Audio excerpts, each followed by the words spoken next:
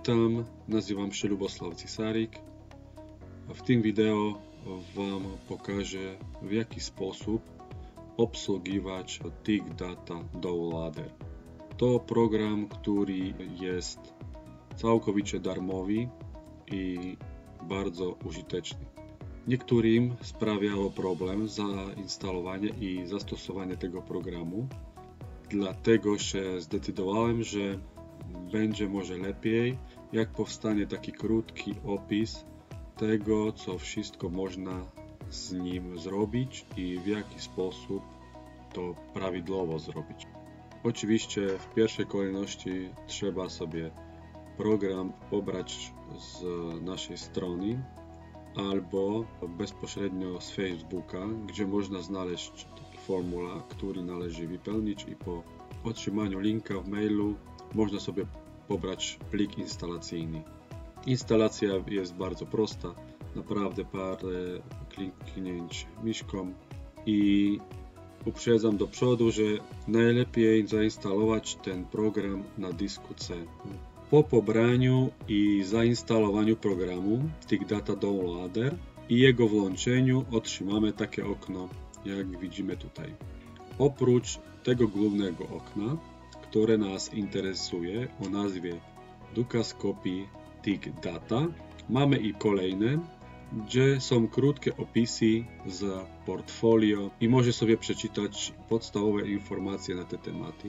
Z góry uprzedzam, że tak jak program i to jest w języku angielskim. Tu jest EA Wizard, EA Analyzer, bardzo użyteczne programiki. Sobie powiemy później w kolejnych wideo. W tej chwili nas ale najbardziej interesuje to okno o nazwie Dukaskopii. To jest podstawowe okno tego programu. Tutaj od razu wrzuca się w oczy, że okno dialogowe jest podzielone na takie kolumny.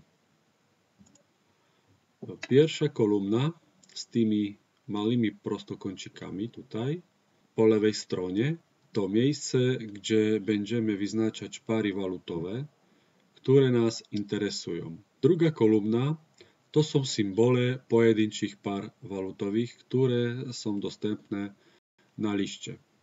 Lista jest dosyć spora i jest z czego wybierać.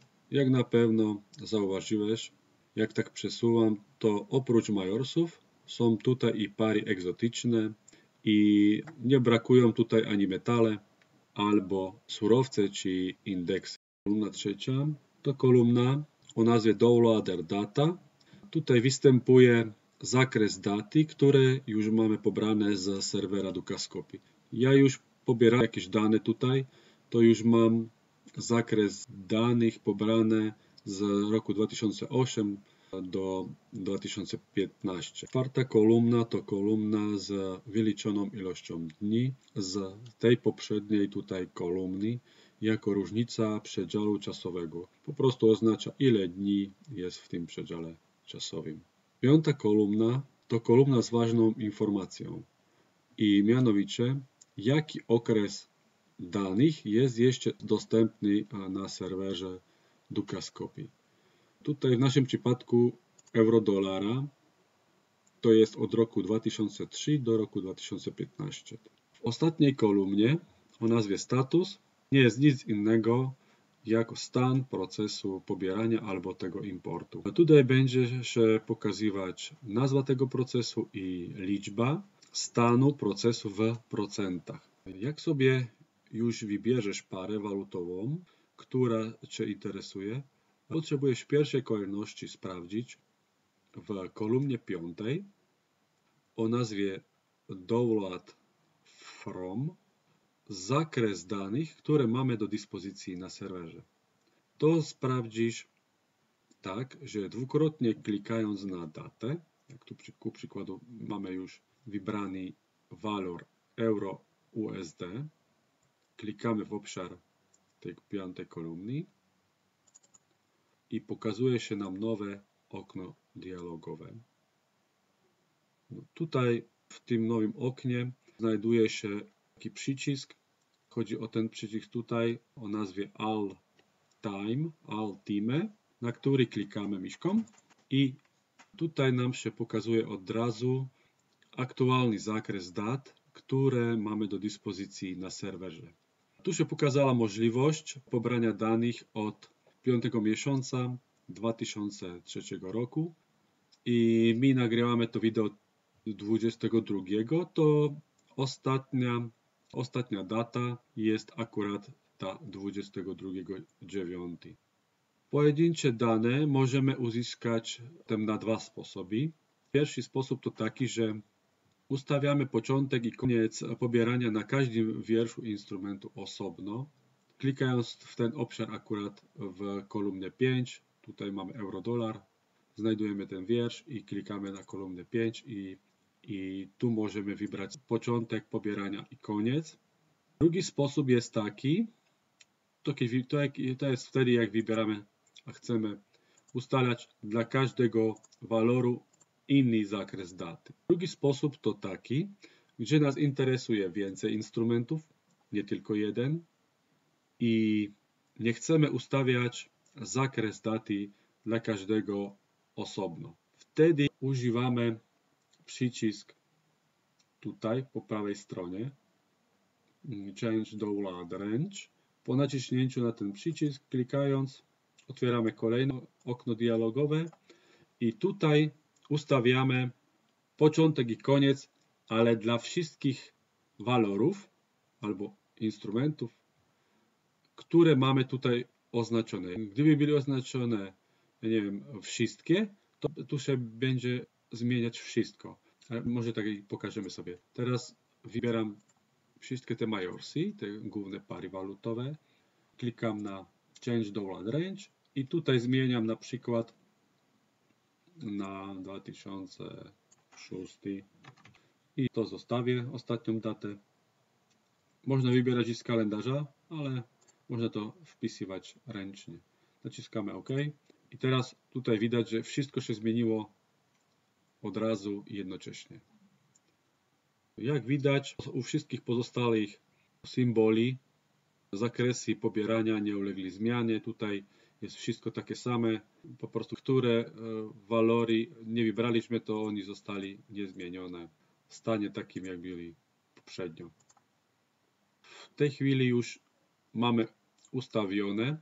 Nie, jeszcze wybierzemy, bo Dzisiaj, dzisiaj będziemy robili tylko z parą euro-USD i nie będziemy tam wybierać inne, żeby nie trwało bardzo długo. Tutaj zmienię na na, na, na kiedyś tam do 16, to ja od 16 tutaj zapiszę, bo ja już mam pobrane dane, jak tutaj widać, od 1 2008 do 16 no to, to mogę pobrać dla przykładu e, tylko od 16 do 22, bo już inne mam. Naciskam OK.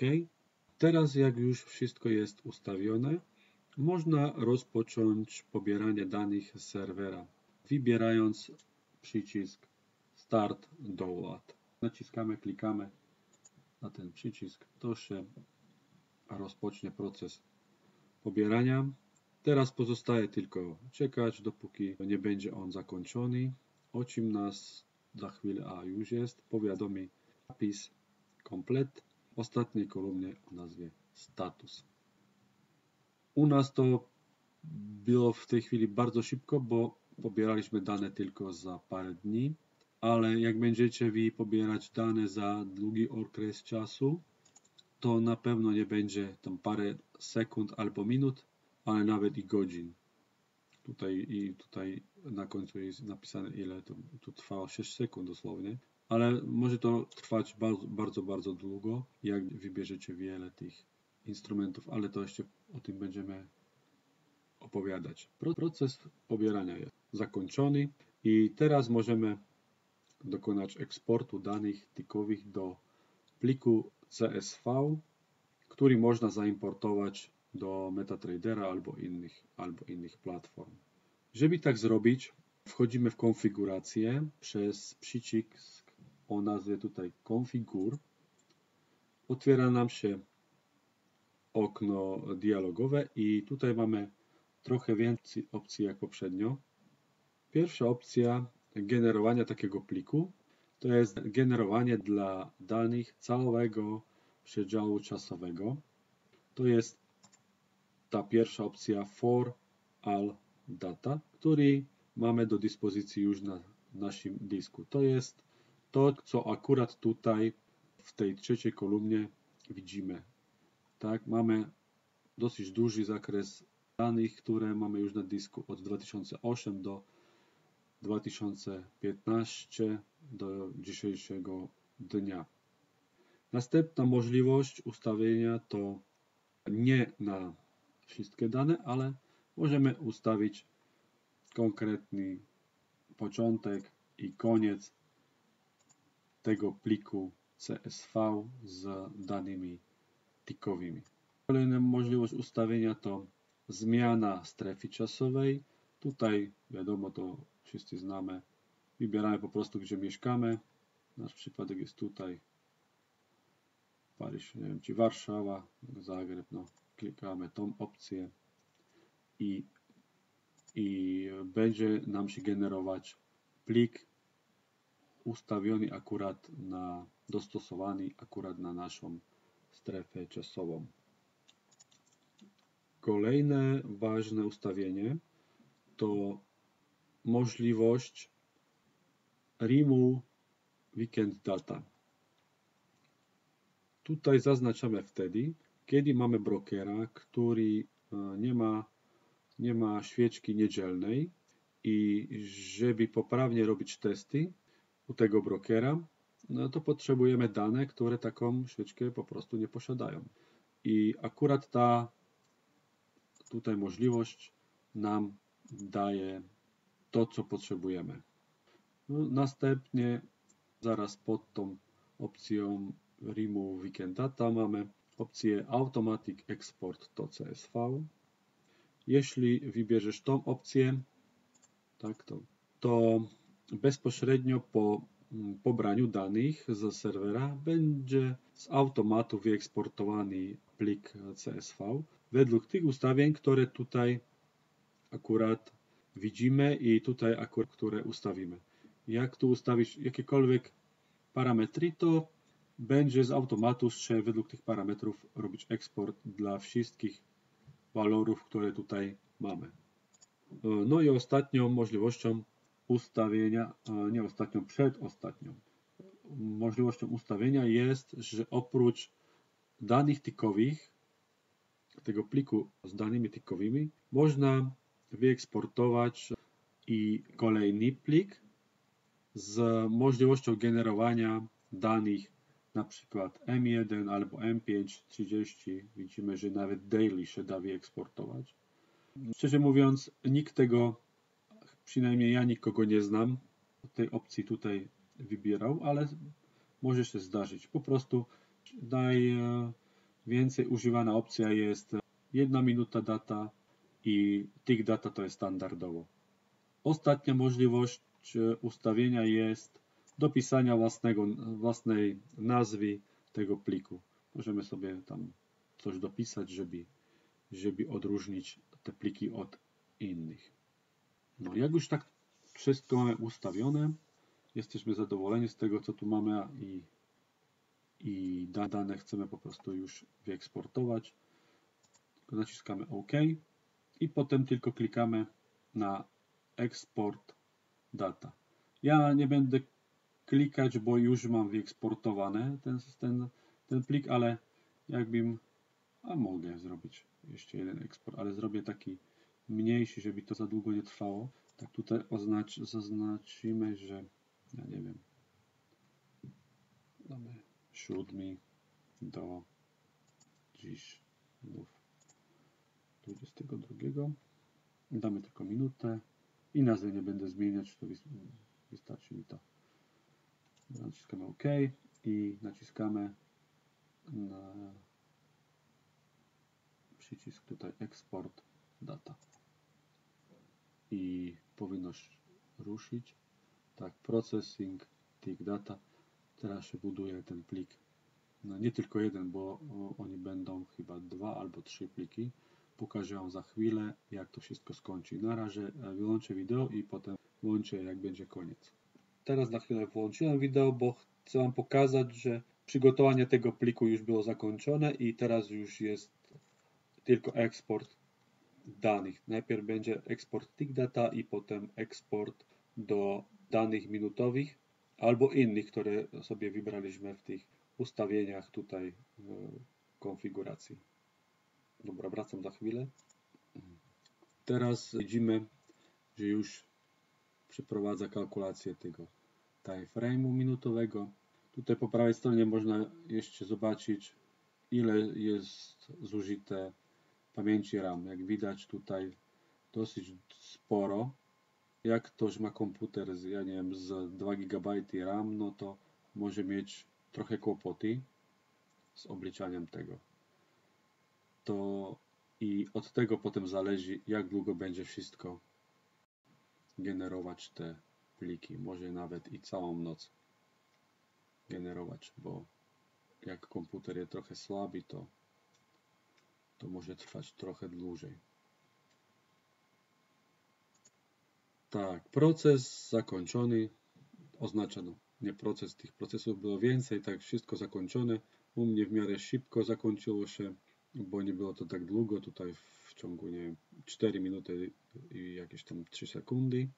Ale jeszcze raz mówię, że w przypadku, że generujesz duży zakres daty albo więcej instrumentów, to spokojnie sobie zrób herbatę albo kawę, bo może to trwać naprawdę długo i w zależności od Twojego komputera nawet i całą noc. To najlepiej zrobić wieczorem i zostawić na noc i rano sobie obejrzeć, jest już gotowe i mać gotową pracę bez wysiłku, bez czekania. Jeszcze zanim przejdziemy do, do pokazania, gdzie w ogóle są te pliki wszystkie, to Wam chcę pokazać jeszcze, co oznaczają mm, tutaj te przyciski. Przeczytam, jak jest napisane. Pierwszy to jest since last date. To oznacza, że ustaw ostatnią datę, która została użyta w poprzednim pobieraniu danych. To oznacza, że jak już tutaj, jak, jak już tutaj pobieraliśmy jako, jakieś dane, to już on nie oferuje dane, które już byli pobrane. Po prostu nie ma co pobierać w tym, w tym przypadku. Jakbyśmy tu kliknęli na Audika, to nam pokazuje, to nam pokazuje, że od 16 nie mamy pobrane dane, dane do dziś. Kolejny przycisk to mm, Last Year, to ten. To po prostu ostatni rok. Jak naciskamy, to tutaj się zmienia na ostatni rok, tak? 22.09.2014 do 2015. Ten e, przycisk to już my, to my już pokazywali, to jest all time, to jest cały zakres da danych, które mamy na serwerze dostępnych. Więcej nie ma. I ostatnia możliwość to jest ostatnich 6 miesięcy. Jak klikamy na to, to jest coś w stylu tego e, tutaj przycisku, że ostatni rok, tak tu jest last ostatnich 6 miesięcy po prostu to. To tam jest taki wybór, ale nie wiem, za bardzo go nie, nie będziemy używać. To wszystko na wyjaśnienie tego okna i za chwilę sobie przejdziemy do pokazania, gdzie w ogóle te pliki mają miejsce na dysku i tam pokażemy, co wygenerował ten program. Obiecałem, że jeszcze Ci pokażę, gdzie można znaleźć wszystkie te dane, mm, które sobie pobrałeś z serwera albo które już małe miałeś pobrane, ale wyeksportowałeś przez to oprogramowanie Tick Data Downloader. Zazwyczaj ten program zostanie zainstalowany na dysk główny. U wszystkich to z całą pewnością jest dysk C. Oczywiście tylko w przypadku, jak sobie nie wybrałeś w procesie instalacji jakiś inny dysk. Jak wybrałeś ku przykładu D, no to szukaj na dysk D. Teraz e, poszukaj folder o nazwie Tick Data Downloader i klikając na ten folder otwierasz nowe okno i po otwarciu tego foldera znajdziesz te tutaj kolejne i jakieś tam jeszcze pliki. Nas interesuje ten tutaj folder o nazwie TIG Data. Otwieramy go i znajdujemy tutaj wszystkie te pary walutowe albo indeksy, które sobie pobrałeś z serwera. W naszym przykładzie mieliśmy parę walutą euro-dolar. To pokażemy sobie jak dalej z tymi folderami tutaj jest. Tak, otwieramy euro, euro-dolar.